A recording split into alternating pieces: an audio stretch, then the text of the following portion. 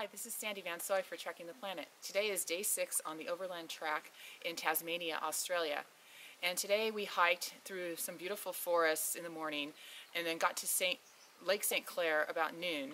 And we had the option there of either taking, paying and taking a ferry the rest of the way or walking. So we chose to walk. So we've actually extended our trek now another day. So tonight we've walked about uh, maybe a third of the way down the lake. Um, today was about 10, 10 and a half miles altogether. So we have a campsite by the lake. We put up our tent one last time. We've washed up and just now are getting ready for dinner. Um, the forest was beautiful along the lake as well. Um, lots of little streams, waterfalls. I even saw a probably two meters, six foot long black snake slither away as I was walking along the path, but didn't really get a chance to take a picture of it. So tomorrow now, we've added the seventh day. We'll hike the rest of the way down the lake. It'll be probably about six or seven miles, and then we'll be through with this trek. So we'll give you more update then. Thanks.